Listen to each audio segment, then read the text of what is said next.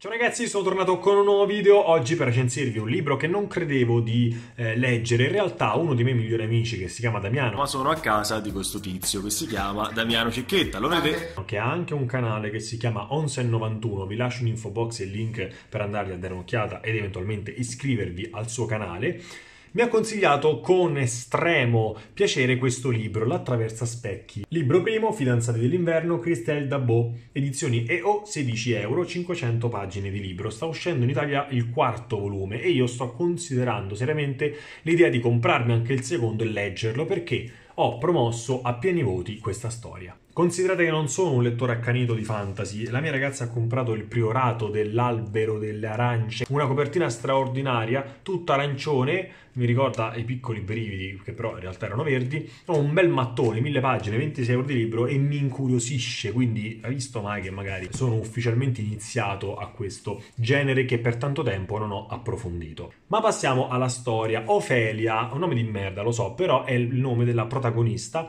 che apre le danze di questa storia molto particolare. Particolare anche il suo potere, perché eh, toccando gli oggetti può scoprirne la storia, chi è appartenuto e tutta una serie di cose. Non solo, giustamente l'attraversa specchi, chi è che attraversa gli specchi? Lei, Ofelia, per forza, con un nome del genere, che, che, che volevi fare? Volevi una principessa? No, massimo che ti ha toccato è attraversare gli specchi. Che significa attraversare gli specchi? Quello che ho detto, cioè una prende lo specchio e ci, ci va attraverso praticamente e sbuca dall'altra parte dove c'è lo specchio collegato, comunque lo specchio in cui lei vuole andare, un po' tipo il binario tre quarti, 9 e tre quarti di Harry Potter che insomma loro col carrelletto entrarono nel, nel binario e poi comunque non c'entra un cazzo questo con Ofelia. Ofelia è costretta a sposarsi un uomo che non conosce. Tra un po' ti sposi. Dici come mi sposi? Eh sì, ti sposi. Con chi? Boh, eh, non lo sai, tra un po' lo scoprirai. Bene, questo è un po' l'anima di tutto quanto il libro. Non che si organizzano matrimoni a cazzo di cane,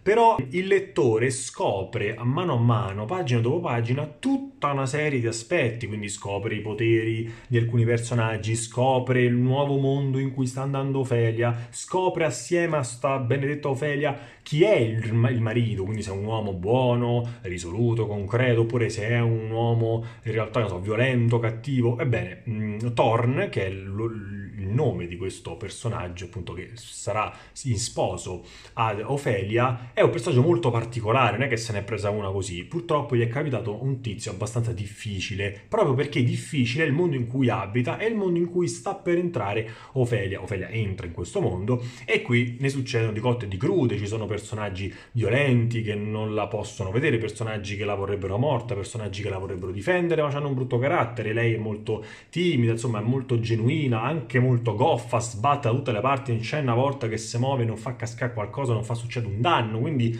Pure questo è un altro aspetto che eh, complica un pochino le cose, però tutto raccontato da Christelle che si fa proprio problemi, scrive molto semplice, i capitoli sono brevi, quindi se siete come me che avete proprio la fissa di finire la lettura precisamente dove finisce il capitolo, questo è perfetto perché ci sono tanti capitoli, quindi poche pagine eh, da leggere appunto per ogni capitolo. E eh, se avete questa fissa siete belli che accontentati. Poi in realtà è un bel mattoncino, insomma 500 pagine non sono proprio poche, la scrittura è, è questa, che vi aspettate, i geroglifici? No, è in italiano.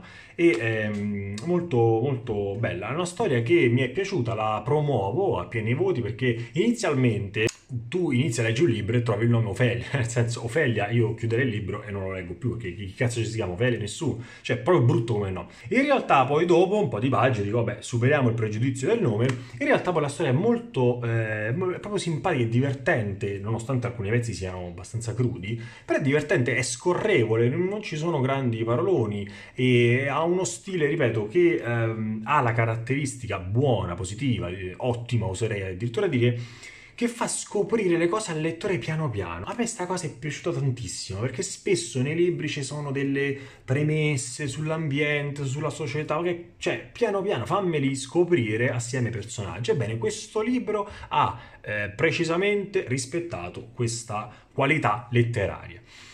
Quindi che dirvi, io ringrazio il mio amico no, 1191 barra Damiano, insomma chiamiamolo come ci pare, per avermi consigliato questo libro. Io ve lo consiglio a mia volta e eh, come dicevo prima, insomma, sono molto intenzionato a comprare anche il secondo volume, ci penso un attimo e poi vi farò sapere, eventualmente lo recensirò qui, fatemi sapere che cosa ne pensate, se lo avete comprato, se l'avete letto, odiato, amato, fatemi sapere, ci facciamo una chiacchierata qua nei commenti, come sempre rispondo a tutti, eh, tranne maleducati, ovviamente, come succede a volte che mi commentate, ma io non rispondo perché siamo qui per goderci dei libri, non per litigare.